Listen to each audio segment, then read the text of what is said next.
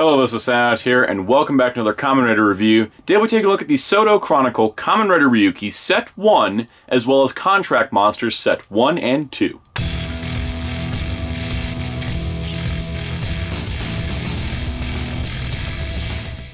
So-Do Chronicle Ryuki Volume 1 was released at General Retail and has Ryuki, Knight, Scissors, and Zolda. Contract Monster Set 1 contains Darkwing and Dragreder, and Contract Monster Set 2 contains Volcancer and Magnugiga, and both of these were premium Bandai exclusives. Each Kamen Rider figure is sold in two boxes, so you need to get both. So if you're looking for these, make sure you get both Part A and Part B, as one has half the figure and one has the other half. Before we get too far into this, the size of these figures is roughly 4 inches, so they're going to be smaller than SH Figuarts. And surprisingly, they're a little taller than the older Shodo Kamen Rider figures, and they're shorter than the Super Sentai Yudo figures. Also, they are bigger than, say, Star Wars Vintage Collection, which is a standard 3.75 inch line. And as you can see here, they're a little bit bigger than the original Kamen Rider Dragon Knight figures from Bandai. And here's a comparison with the others. It's kind of amazing how far figures have come in the last 13 years. And here's a quick side-by-side -side between all three Ryukis. The articulation on these figures is serviceable. I wouldn't call it great, wouldn't call it bad, it's just serviceable. It does what you need without really doing anything too crazy. Each one of the Kamen Riders comes with a really cool stand.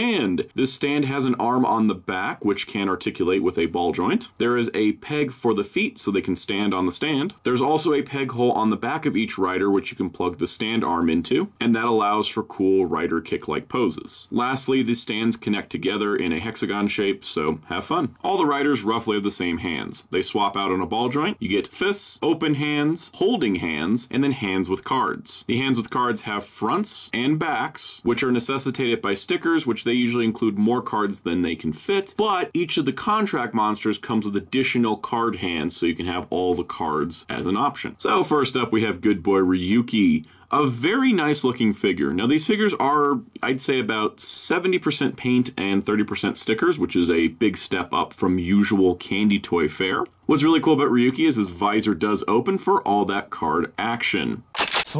He does include his sword vent, which I think is great because he has no other weapons, and overall, it looks really nice. And in a nice twist of fate, he can actually fit on the Dragon Knight Dragon cycle, which is honestly unexpected but pretty cool. Adobento. Ryuki's contract monster is Dragreder, a very, very long looking dragon. The articulation's pretty cool. It's got ball joints all up and down every point of the body, which is very, very nice. And that also means he can stand on his own without any additional support stands, which is really cool. But if you do want a pose that you need some support for, it does work with the standard figure stand. The first weapon that's included as a bonus is the Strike Vent. Now this doesn't use the dragon head, but comes with a smaller dragon head. The smaller dragon head can attach to Ryuki's ball jointed wrist and allow him to do the Strike Vent pose. Now for the guard vents, you do need to remove the dragon legs with the shield parts off of the dragon, and you do get two handles, so that will allow Ryuki to hold said guard vents. In addition to that, you have two smaller pegs which will allow them to be mounted on the shoulders, which is seen in the show. Final. What's really cool is that just out of the box, you can do Ryuki's final vent pose with Dragreder in a close approximation. Overall, Ryuki and Dragreder make a nice pairing, and I'm actually pretty surprised that I think that Dragreder may have turned out better than the SH Figuarts version. Next up, we have Kamen Rider Knight.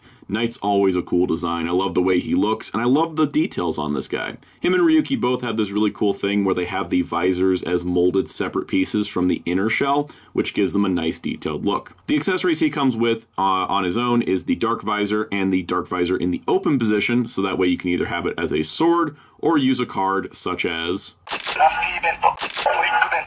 In addition to that, he can actually ride the bike, just like with Ryuki. So if you have those old Dragon Knight bikes, they'll probably work with these figures, and that's pretty cool. Adobento. Knight's contract monster is Darkwing, who is a really, really cool looking bat and not a duck.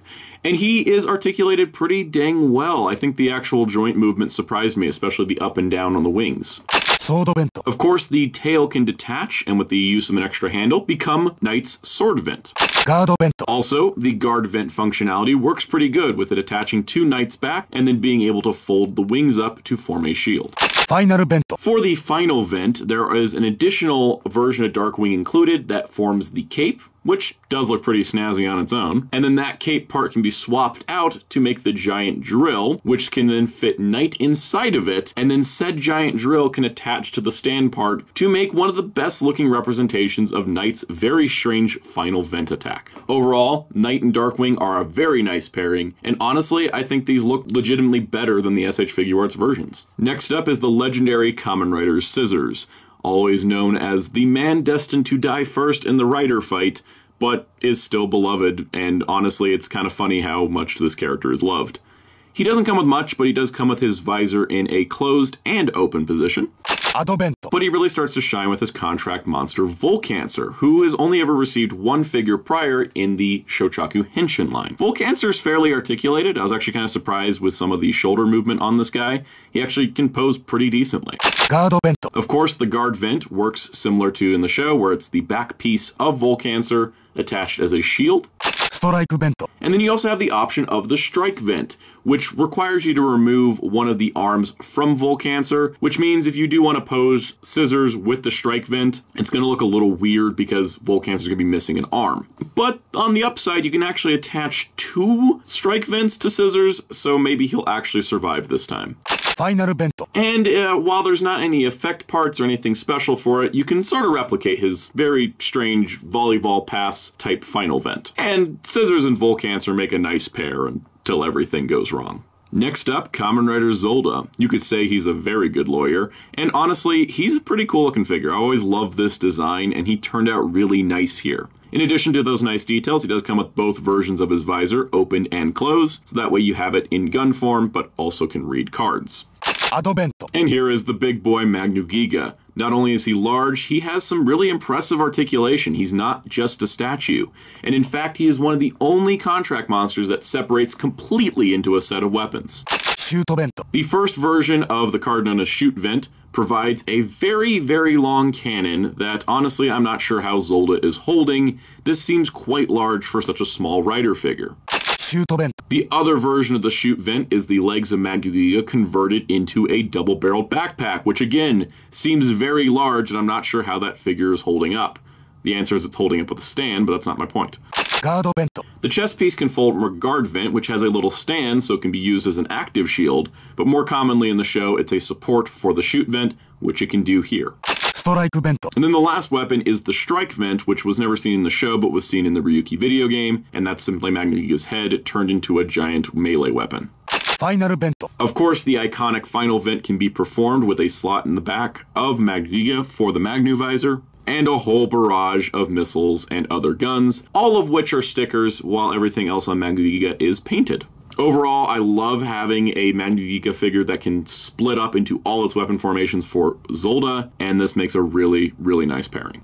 So overall, I'm really happy with the Soto Chronicle Ryuki stuff. I don't collect this line normally, I don't collect this scale, but SH Figuarts failed to produce all of the contract monsters, and that bummed me out because I love the contract monsters. It's one of my favorite parts of the show.